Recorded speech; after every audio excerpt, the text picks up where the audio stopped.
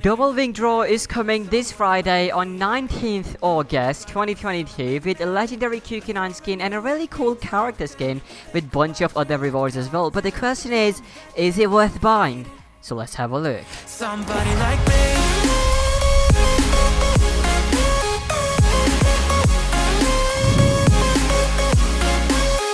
Welcome everyone, my name's Ollie, we are really close to get 35k subscribers on our channel and if you guys are not subscribed then excuse me, hello. What are you doing? Alright ladies and gents, so the character that is coming in this draw is named as Kestrel and this is a female skin and let me tell you dude, this is a simp worthy skin.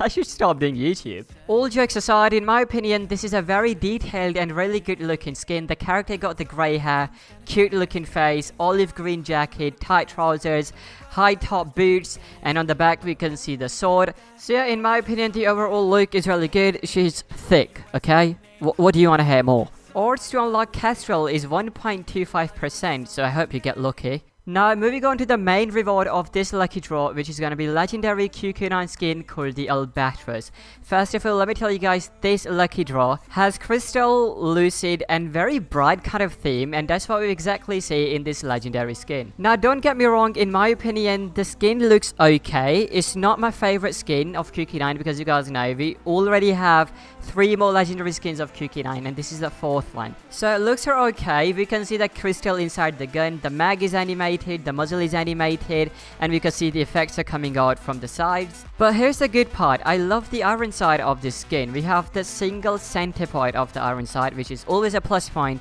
when it comes to the iron sights. So in my opinion, the best looking QQ9 legendary skin is still the Sigrun, but when it comes to the iron sight, this skin got the best iron sight. But baby, hold on, let me show you guys the kill effect of this bad boy.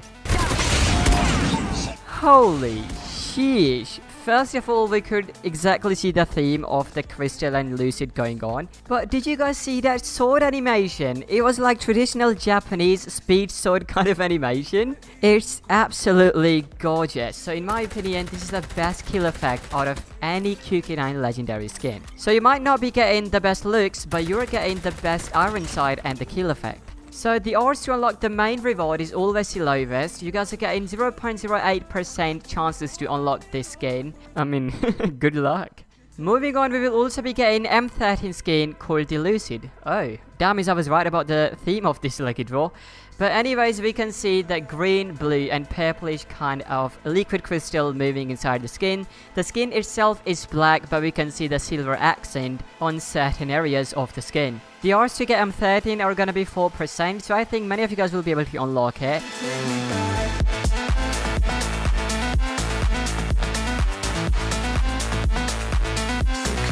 Moving on, this Lucky Draw has to offer a legendary calling card where we can see the character itself is holding a crystal.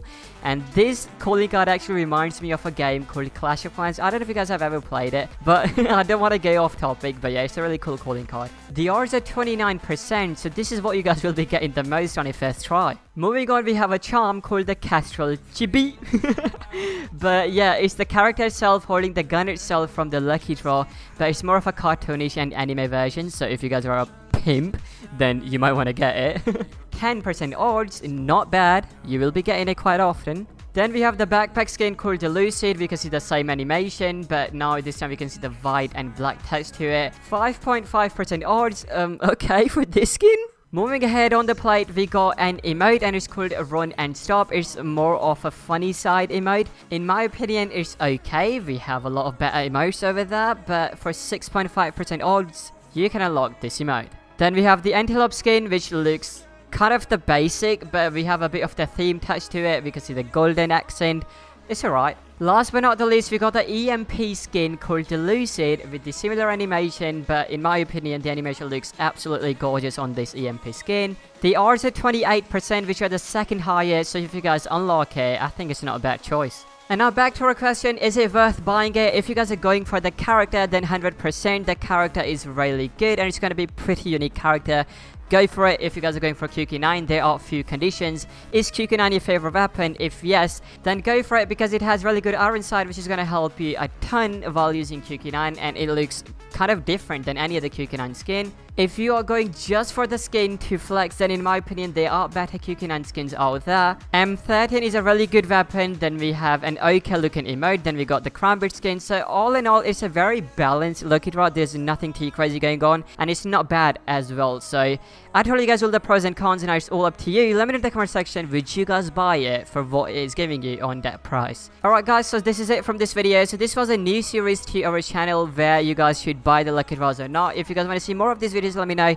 I'll see you guys in my next video. Remember, peace, love, and unity. My name's Ali and I'm signing out.